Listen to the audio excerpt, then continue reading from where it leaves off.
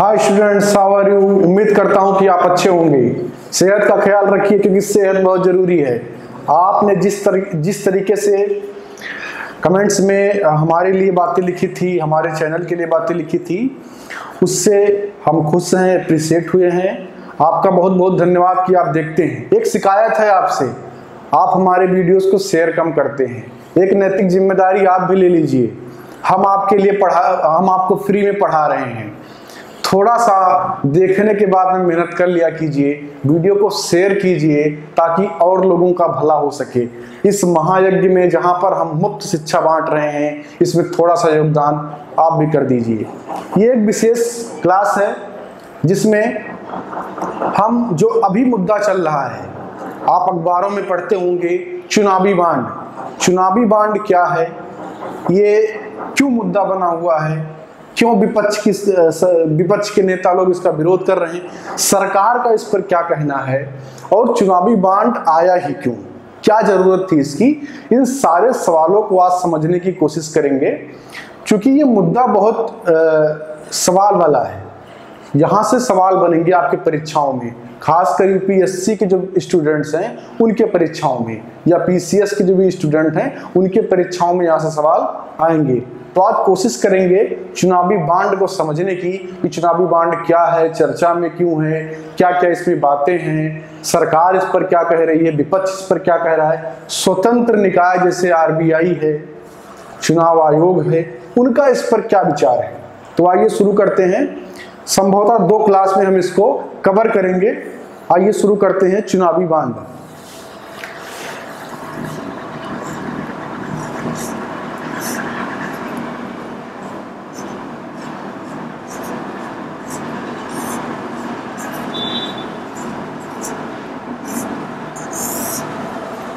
एक जानकारी आपके लिए है। हम इस क्लास के साथ साथ में एक वेबसाइट शुरू कर रहे हैं। जिसका नाम है only U P S C dot in. इस वेबसाइट पर आपको क्लास का पूरा डिटेल, उसके साथ में ही स्टडी मटेरियल, जिसमें करंट अफेयर्स होगा, जिसमें जीएस के क्वेश्चन होंगे, जीएस, जिसमें जीएस के पढ़ने के लिए जो तथ्य हैं वो आपको मिलेंगे। तो आपको सीधे सीधे गूगल पर जा करके हमारी इस वेबसाइट को खोलना है, उसको सब्सक्राइब करना है नोटिफिकेशन को ऑन कर लेना है, ताकि जब उस पर कोई नई चीज़ हो तो आपको मिल सके। वहाँ पर आपको लाइव सेशन भी मिलेंगे तो इस वेबसाइट को आपको सब्सक्राइब कर लेना है। साथ ही जो हम एक काम करते हैं कि अपने क्लास के दौरान एक क्वेश्चन आपको लिखने के लिए देते हैं, जिसका उत्तर आप लिखकर हमको भेजते हैं। इस बार करीब 2000 स्टूडेंट्स का उत्तर हमारे पास आया है। ये उत्साह देख करके मेरे मन में भी उत्साह हो रहा है कि इस कार्यक्रम को और ही आगे बढ़ाया जाए और इस पर मेहनत किया जाए। उन सब की क्ला, क्लास में व्याख्या होगी जो आपने उत्तर हमको लिख कर भेजा है। तो आप भी इस मेल को नोट कर लीजिए इस मेल पर आपको क्वेश्चन मिलेगा जिसका जवाब आपको लिखना होगा। तो आइए शुरू करते हैं चुनावी बांड। ये जानकारी आपके लिए है। Only UPSC group at the rate G mail आप डॉट कॉम ये हमारा ईमेल एड्रेस है। और ओनली यूपीएससी डॉट इन हमारी वेबसाइट है। चुनावी बांड। बहुत ही गंभीर मुद्दा है। जैसा कि आप देख रहे होंगे कि सदन नहीं चल रहा है। संसद नहीं चल रहा है इसकी वजह से। आखिर ऐसा क्या गंभीर बात इसमें है कि संसद में बैठे जो विपक्ष के नेता हैं, वो सरकार को लगातार घेर रहे हैं। तो इसको हम इस तरीके से समझने की कोशिश करेंगे। सबसे पहला प्रश्न हम इसमें बनाएँगे कि ये क्या है? क्या है? चुनावी बांड है क्या? ये मूल प्रश्न है इसको समझने का कि चुनावी बांड क्या है। दूसरा प्रश्न जो है, वो ये है कि चर्चा में क्यों है? चर्चा में क्यों है? और जो तीसरी बात इसमें है कि जो स्वतंत्र निकाय हैं और सरकार और विपक्ष, स्वतंत्र निकाय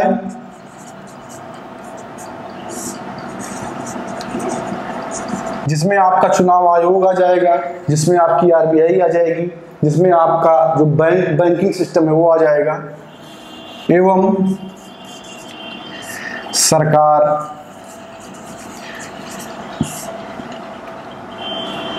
कॉमा विपक्ष। इन सब के तथ्य क्या है? ये किस बेसिस पर बात कर रहे हैं? क्या कह रहे हैं? क्या सही कह रहे हैं? क्या गलत कह रहे हैं? ये सारी बातें हम इन सेगमेंट में समझने की कोशिश करेंगे कि आखिर पूरा मामला है क्या? तो पहले प्रश्न की तरफ़ हम चलते हैं। हमने पहला प्रश्न बनाया है कि चुनावी बांड है क्या? आप जानते होंगे कि राजनीतिक पार्टियों को चलाने के लिए चंदा लिया जाता है। ये चंदा लेने की प्रक्रिया कोई नई नहीं है। जब से राजनीति हो रही है, जब से राजनीतिक पार्टियाँ हैं, तब से चंदा लेने का प्रावधान है। हमारे यहाँ परंपरा रही है कि जो पॉलिटिकल पार्टियाँ हैं, वो चंदा लेती थी। कैसे चंदा लेती थी? उन पर, उनका एक नियम था चंदा लेने का कि अगर बीस हज़ार रुपये बीस हज़ार रुपये तक वो चंदा ले लेती है किसी से तो उसका जानकारी देने की उनको ज़रूरत नहीं पड़ती थी कि कहाँ से आया, किसने दिया, क्या किया। उससे ज़्यादा जब होता था तो उनको जानकारी देना पड़ता था। तो इसलिए समस्या ये पैदा हो रही थी कि जितनी भी पॉलिटिकल पार्टियाँ थी, वो बीस हज़ार के हिसाब से चंदा लेती थी कि बीस हज़ार हमको फलाने दिया, बीस हज़ार हमको फलाने दिया। ऐसे में होता क्या था कि वो बहुत ज़्यादा चंदा भी लेती थी और बात सामने नहीं आ पाती थी। यानी कि ये एक चुनावी भ्रष्टाचार बन गया था। इसका सल्यूशन निकालने के लिए ये कोशिश किया गया कि एक हम अपने बैंकिंग व्यवस्था में ही एक बांड जारी करेंगे, जिसको बैंक में जा करके कोई खरीदेगा। वो कोई कंपनी हो सकता है, कोई व्यक्ति हो सकता है, कोई फर्म हो सकता है। जो जा करके खरीदेगा और उसकी जानकारी बैंक के पास रहेगी, ताकि पारदर्शिता लाई जा सके। चुनाव में पारदर्शिता लाई जा सके। अब इसमें बहुत सारे सवाल हैं, जिनको हम एक एक करके समझने की कोशिश करेंगे। तो मूलतः यह समझ लीजिए कि चुनावी बांड जो है, वो चुनाव लड़ने के लिए पॉलिटिकल पार्टी जो चंदा लेती हैं, उसके लिए एक बॉन्ड है, जिसको 2017 के बजट के भाषण में पूर्व वित्त मंत्री, जिनका अभी हाल ही में कुछ दिन पहले देहांत हो गया है, अरुण जेटली ने इसको इंट्रोड्यूस किया था। इसको इंट्रोड्यूस करते हुए उन्होंने बताया कि बहुत ही रोचक बात है। उन्होंने कहा कि इससे पारदर्शिता जो है बढ़ जाएगी, क्योंकि इसमें प्रावधान किया गया है कि अगर दो हज़ार रुपये से आप ऊपर चंदा लेते हैं तो पूरी की पूरी जानकारी आपको देनी पड़ेगी और आप बॉन्ड के माध्यम से ही ले सकते हैं। कैश नहीं कर सकते?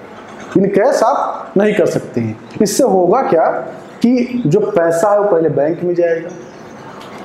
बैंक के पास जब पैसा जाएगा तो बैंक को जानकारी भी मिलेगा। उसमें एक केवाईसी का फॉर्म भरा जाएगा, जिसमें पूरी डिटेल दी जाएगी। उसके बाद में उसको बैंक एक बॉन्ड देगा, उस बॉन्ड के माध्यम से पॉलिटिकल पार्टी को चंदा दे देगा। तो ये पूरी बात थी चुनावी बांड की, चुनावी बांड लाया क्यों गया? अब इसमें जो समस्याएँ आ रही हैं, चर्चा में क्यों है, ये बहुत रोचक है। इसको कई भाग में बांट करके हम पढ़ेंगे। तो सबसे पहली बात, चुनावी बांड में एक चीज़ क्लियर हो गया कि इसका उद्देश्य था चुनाव की प्रक्रिया में पारदर्शिता लाना। यानी कि ट्रांसपेरेंसी लाने की ज़रूरत थी क्योंकि हमारे यहाँ चुनाव में बहुत ज़्यादा पैसे खर्च होते हैं। लोक लुभावने वादे किए जाते हैं और उन वादों को पूरा करने के लिए बैक बैक गेट से, जो सामने से कोई योजना के माध्यम से नहीं, ऊँट खरीदने की प्रक्रिया होती है तो उससे बचने के लिए एक उपकरण बनाया गया कि इसके माध्यम से आपको पैसा लेना है, चंदा लेना है, ताकि एक पारदर्शिता बन सके। अब इसमें कई सवाल खड़े होते हैं। सवाल इसलिए खड़े हो खड़े हो रहे हैं क्योंकि जो अभी अभी जिस चीज़ ने आग लगा दी है, वो चीज़ है एडीआर की रिपोर्ट। एडीआर की एक रिपोर्ट आई है जिसने इस पूरे मामले को हवा दिया है। एडीआर क्या है? ADR association association for democratic reform इसने एक रपट जारी किया। इसने एक रपट जारी करके बताया कि अक्टूबर 2018 से लेकर के 2019 अक्टूबर तक करीब 6,128 करोड़ रुपए का चंदा आया। 6,128 करोड़ रुपए जो कि 12,113 या 213 जो फैक्ट है आप चेक कर लीजिएगा। इतने बांड के माध्यम से इतने रुपए पॉलिटिकल पार्टियों को चंदा दिया गया। इसमें अब समस्या कहाँ है? समस्या ये है कि इसमें पंचानवे परसेंट नाइन्टी फाइव परसेंट जो चंदा गया है, वो तत्कालीन जो सरकार है, भारतीय जनता पार्टी की, उसको मिला है। यहाँ से इस मुद्दे ने तूल पकड़ा, एक गर्माहट आ गई, पूरे राजनीतिक गलियारों में खलचल पैदा हो गया कि चंदा सिर्फ़ एक पॉलिटिकल पार्टी को क्यों मिल रहा है। अब इसके कई रीजन हो सकते हैं। क्योंकि अगर कोई चंदा दे रहा है तो क्यों दे रहा है, इस पर भी कई सवाल खड़े हो सकते हैं। लेकिन जो पूरा मामला है, वो यही से शुरू होता है। दूसरा जो मुद्दा है कि क्यों चीज़ें बाहर इतना विरोध किया जा रहा है, जबकि 2017 में ही चुनावी बांड आया था, उसकी वजह यह है कि अभी अभी इकबाल मिर्ची नाम के एक व्यक्ति को आपने सुना होगा, अखबारों में काफ़ी रहा था। आतंकवादी गतिविधियों को लेकर के वो उस पर केस चल रहा है। उसकी एक कंपनी ने भी, जो है, चुनावी बांड के माध्यम से पैसा डोनेट किया है। अब यहाँ पर सवाल साख पर खड़े होते हैं कि जब पारदर्शिता लाने के लिए चुनावी बांड लाया गया तो क्या जो आतंकवादी गतिविधियों में शामिल कंपनियाँ हैं, वो पैसा कहाँ से ला रही हैं? उनकी फंडिंग कहाँ से हो रही है? इन सबको लेकर के सवाल उठाना जायज़ है। इसीलिए ये बहस बहुत तेज हो गई है तो शुरुआत से समझने की कोशिश करते हैं कि चुनावी बांड को जारी कौन करेगा? किस, कितने कितने रुपए के बांड होंगे? कब कब जारी किए जाएँगे? उसके बाद में एक क्रम एक क्रम में चीज़ों को समझने की कोशिश करते हैं। तो आइए शुरुआत करते हैं।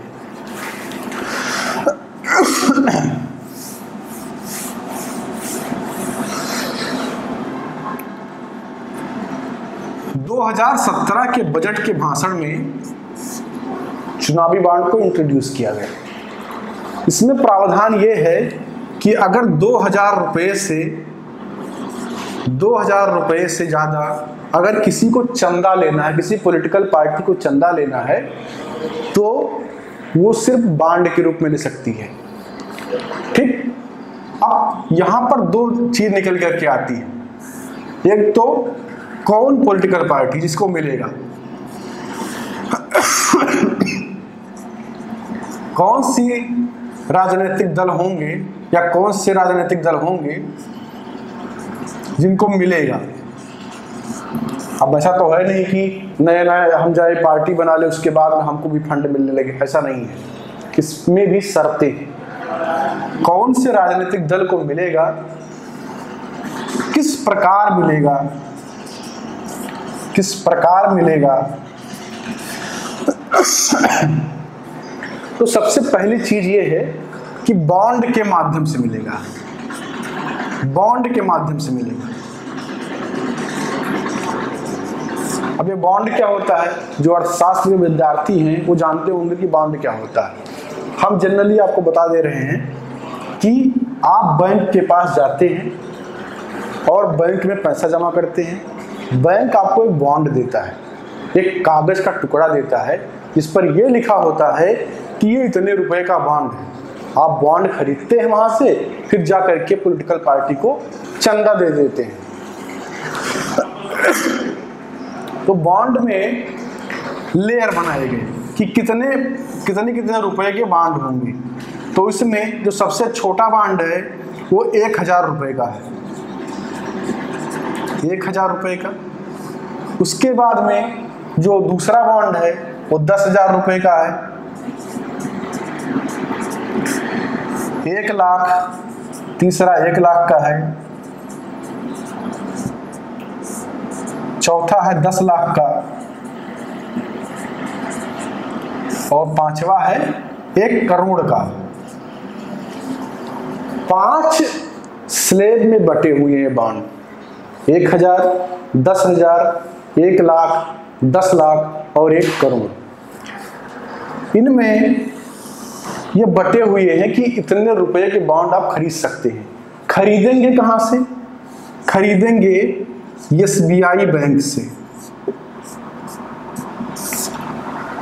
एसबीआई बैंक से आप जा करके इस बॉन्ड को खरीद सकते हैं। कब खरीदेंगे? एक नया प्रश्न जनरेट होता है कि कब खरीदेंगे? कि खरीदेंगे कब? इसके लिए एक व्यवस्था यह बनाई गई है कि सरकार जो है, एक अधिसूचना जारी करके बताएगी कि इस तारीख से लेकर के इस तारीख तक आप बॉन्ड खरीद सकते हैं। तो वो समय समय पर अधिसूचना जारी करके बताएगी कि आप फला तारीख से लेकर के फला तारीख तक बॉन्ड खरीद सकते हैं। दूसरी चीज़ ये बॉन्ड कब तक मान, मान्य होंगे? जैसे मान लो, आज की तारीख को हमने बॉन्ड खरीद लिया। आज जा करके हमने एसबीआई बैंक में एक हज़ार रुपए का एक बॉन्ड खरीद लिया किसी राजनीतिक दल को चंदा देने के लिए। तो यह बॉन्ड कब तक मान्य हुआ? तो यह बॉन्ड पंद्रह दिन तक मान्य होगा। पंद्रह दिन तक मान्य होगा। खरीदने के डेट से लेकर के पंद्रह दिन तक ये मान्य होगा। इसको आप ले जा करके किसी पॉलिटिकल पार्टी को देंगे डोनेट करेंगे, वो पॉलिटिकल पार्टी जा करके वहाँ से उस चंदे को ले लेगी। तो इसमें जो फैक्चुअल बात है, वो आप नोट करते चलिएगा कि बॉन्ड में कितने स्लेब हैं तो इसमें पाँच स्लेब हैं। कौन जारी करेगा? एसबीआई जारी करेगी। कब जारी करेगी? ये सरकार अधिसूचना देकर के बताएगी कि अब से अब तक बिकेगा। कब से कब तक बिकेगा? यहाँ पर भी कई सवाल खड़े हो रहे हैं सरकार के निष्ठा को लेकर के। क्योंकि एक सामान्य गाइडलाइन होती है सरकार अपने हिसाब से कई बार इसको जारी कर लेती है। जैसे कर्नाटक चुनाव से पहले जारी किया गया महाराष्ट्र चुनाव से पहले जारी किया गया। तो इस पर भी जो विपक्षी पार्टियाँ, उनका विरोध है कि इसके जारी करने की तिथि में भी सरकार कहीं ना कहीं अपने फ़ायदे को लेकर के चल रही है। ये उनका विरोध है। इसमें आपने स्लेब देख लिया। आपने देख लिया कि कितने दिन तक ये मान्य होंगे। कौन जारी करेगा? ये सारी चीज़ें आपने देख लिया। अब बात करते हैं कि कौन सी राजनीतिक दल हैं या कौन सी पॉलिटिकल पार्टियाँ हैं जिनको यह चंदा मिल सकता है। ऐसा तो है नहीं कि सबको मिल जाएगा। कोई नई नई पॉलिटिकल पार्टी कल को बनाए और उसको चंदा मिल जाए। ऐसा नहीं है। इसमें प्रावधान किया गया है। प्रावधान ये है कि उन्नीस सौ इक्यावन के जन प्रति जनप्रतिनिधि अधिनियम जनप्रतिनिधि अधिनियम के तहत जो पॉलिटिकल पार्टियाँ इसमें दर्ज है, जनप्रतिनिधि अधिनियम उन्नीस सौ इक्यावन के तहत जो पॉलिटिकल पार्टियाँ दर्ज हैं, उनमें एक शर्त रखी गई है कि कौन पा सकता है। जैसे मान लो कि तीन पार्टी का हम नाम ले लेते हैं, जैसे बीजेपी है, भारतीय जनता पार्टी आईएनसी है इंडियन नेशनल कांग्रेस बीएसपी है। ये तीन पार्टियों का एग्ज़ाम्पल हम लेके चल रहे हैं कि एक है भारतीय जनता पार्टी, एक है आईएनसी और एक बीएसपी है। शर्त इसमें यह है कि जन प्रतिनिधि अधिनियम उन्नीस सौ इक्यावन में ये पॉलिटिकल पार्टी दर्ज होनी चाहिए। अब ये तीनों पॉलिटिकल पार्टी इसमें दर्ज है। अभी एक शर्त और बाकी है जिसको पूरा करना ज़रूरी है, तभी इनको चंदा मिलेगा। वो शर्त ये है कि ये तीनों पॉलिटिकल पार्टियाँ अभी जो आम चुनाव हुआ है, जैसे मान लो आज उनको चंदा लेना है तो इससे पहले जो आम चुनाव हुआ है, उसमें टोटल जितना ऊँट पड़ा है, जितना मत पड़ा है, उसका एक प्रतिशत मत कम से कम इनको हासिल हुआ हो। तो इसको ध्यान से सुनिएगा फैक्ट बात है कि जो पॉलिटिकल पार्टियाँ उन्नीस सौ इक्यावन के जन प्रतिनिधि अधिनियम में दर्ज हैं तथा चंदा लेने से पहले जो आम चुनाव हुआ है, उसमें कम से कम एक प्रतिशत मत उन्होंने, कुल मत का हासिल किया है, तभी वो इस चंदे को स्वीकार कर सकती हैं, उनको ये चंदा मिल सकता है।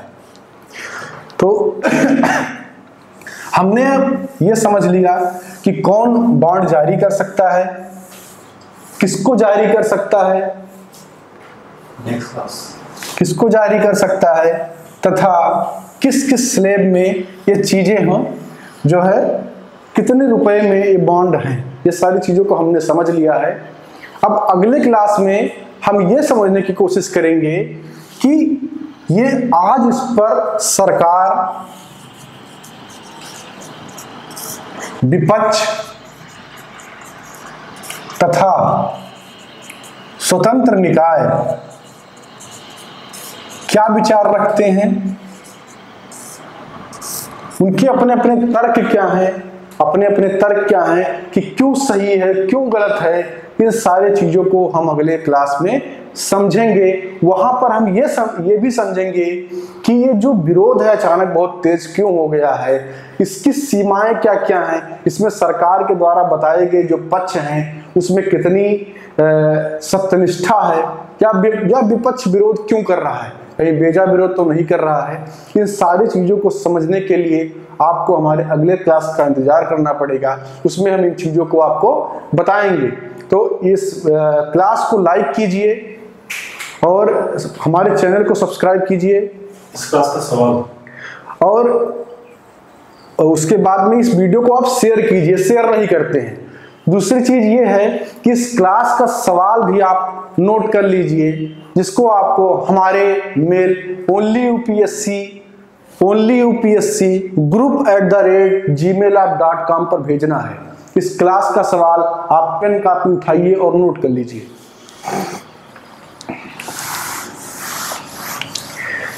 सवाल यह है, चुनावी बांड क्या है? तथा इसमें कितने स्लेब हैं? उदाहरण सहित इसकी व्याख्या कीजिए। सवाल फिर से बता रहा हूँ, चुनावी बांड क्या है? तथा इसमें कितने स्लेब हैं? उदाहरण सहित व्याख्या कीजिए। तो आप अगले वीडियो का इंतज़ार कीजिए। उसमें आपको आगे की बातों को बताएँगे। वहाँ फिर से आपको एक नया प्रश्न मिलेगा, जिसका उत्तर आपको लिख लिख कर भेजना होगा। Thank you